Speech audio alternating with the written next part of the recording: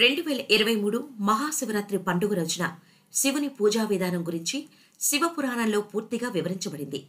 ఈసారి ఫిబ్రవరి పద్దెనిమిదవ తేదీన శనివారం నాడు మహాశివరాత్రి పండుగ వచ్చింది. హిందూ మత విశ్వాసాల ప్రకారం శివ పురాణానికి ఎంతో ప్రాముఖ్యత ఉంది. ప్రతి ఒక్కరూ సంతోషకరమైన జీవితం కోసం శివ పురాణంలో అనేక విషయాలు పేర్కొనబడ్డాయి. జ్యోతిష శాస్త్రం ప్రకారం ఎవరి జాతకంలో అయితే గ్రహాల పరిస్థితి ప్రతికూలంగా ఉంటుందో వారు అనేక సమస్యలను ఎదుర్కోవాల్సి వస్తుంది. అయితే ఈ సమస్యలన్నిటికీ శివపురాణంలో నివారణ చర్యలు ఉన్నాయి.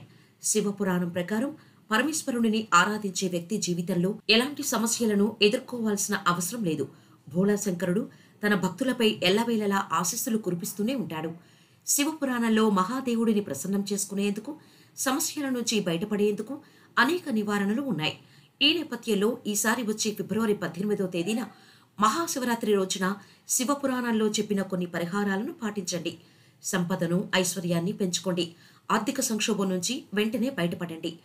మహాశివరాత్రి రోజున గంగాజలం నల్ల నువ్వులను నీటిలో కలిపి శివలింగానికి అభిషేకం చేయాలి. ఇదే సమయంలో ఓం నమ శివాయ అనే పంచాక్షరి మంత్రాన్ని జపిస్తూ ఉండాలి.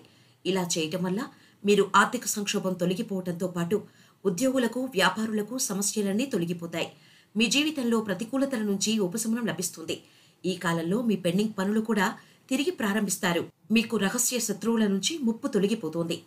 ఆర్థికపరమైన సమస్యలతో ఎవరైతే ఇబ్బంది పడుతుంటారో వారందరూ సోమవారం రోజున ఇలాంటి పరిహారాలను పాటించాలి.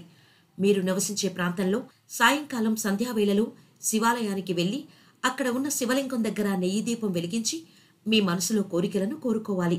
ఈ పరిహారాన్ని ఒక సోమవారం ప్రారంభించి నలభై ఒక్క సోమవారాల పాటు దీపారాధన చేయాలి.